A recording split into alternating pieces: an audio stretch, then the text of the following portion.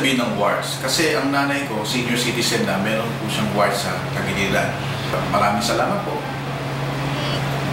Good morning sa iyo, Ryan.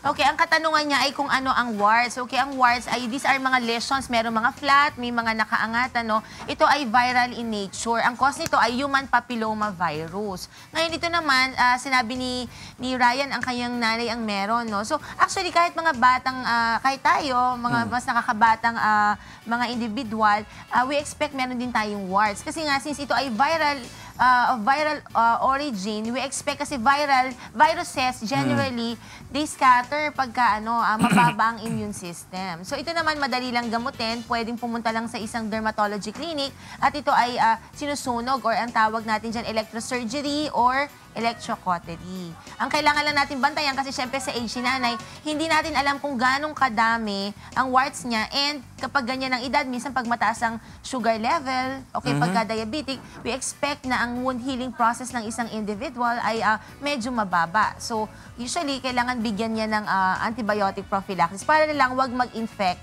yung ah, ititreat na lesions, Kuya. John. Lahat na Sara ng warts dapat kinokoterize. Ah, yes. Though meron din namang ibang ah, ibang ah, alternative like meron kasi nabibili sa mga drugstores yung ah, salicylic acid. Nilalagyan. Do we do not advise it eh kasi we expect pag naglagay ka ng drop even the surrounding tissue which is normal nalalagyan din ng gamot. So pwede rin siyang talagang makaburn. May sira.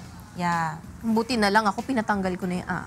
Oh, Pero dapat ano, ha, every six months, dapat make sure, kunyari nagpatanggal ka sa face, Ah. papacheck mo kung meron sa neck, meron sa ibang parts of the body. Kasi pag na-scratch mo yan, okay, and then naikawat Kakalat. mo sa iba, kakalat mo. So kaya dapat pagka napat, nagpatanggal ka, lahat patanggal mo, and then after six months, pacheck ka baka meron na naman panibago. Like kunyari pag nagbeso-beso, o kaya ang yung Share asawa, towel, no? sharing of towels. Yun. Basta ayan. pa ba yun, yung pag beso-beso?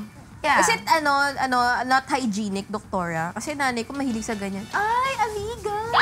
Hindi, actually, sa ano sa France, dalawa pa? Dalawa. Oo, hindi pa naman beso dalawa. sa one, two. Oh, yun. So, hindi, syempre nakaka-offend naman pagka ibebeso kami. Oo. Mm, okay, di ba? Sorry, you're not hygienic. Okay. Hindi, siguro gawin na lang natin, ah, magpa-check tayo sa ating dermatologist. ah, every, ah, I mean, regularly, like Yun. every six months, that would